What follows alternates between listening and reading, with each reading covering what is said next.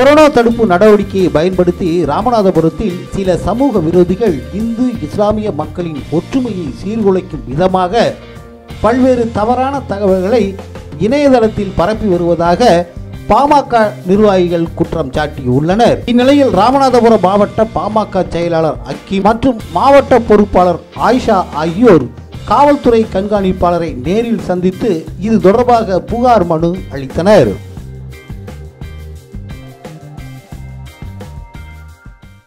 ராமநாதபுரம் மாவட்ட பாட்டாளி மகிழ்ச்சி சார்பாக இன்று மாவட்ட காவல்துறை கண்காணிப்பாளரிடம் ஒரு புகார் மனு கொடுக்கப்பட்டுள்ளது. கடந்த சில நாட்களாக ஸ்ரீ ராம பக்தன் என்ற முகநூல் கணக்கிலிருந்து இஸ்லாமியருக்கு எதிராக பொய் பிரச்சாரங்கள் பதிவிட்டு வருகின்றனர்.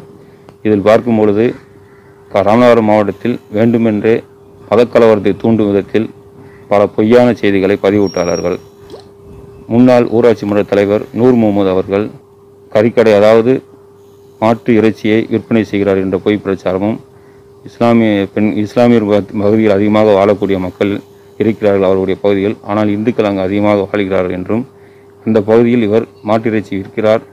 அதுபோல இந்து பெண்ணை கற்பழித்து கொலை செய்தார் என்றும் பல பொய் பிரச்சாரங்களை செய்துள்ளார்கள். இந்த முகநூலின் உள்நோக்கம் என்னவென்றால் ராமநாதபுரம் மாவட்டம் அமைதியாக உள்ளது.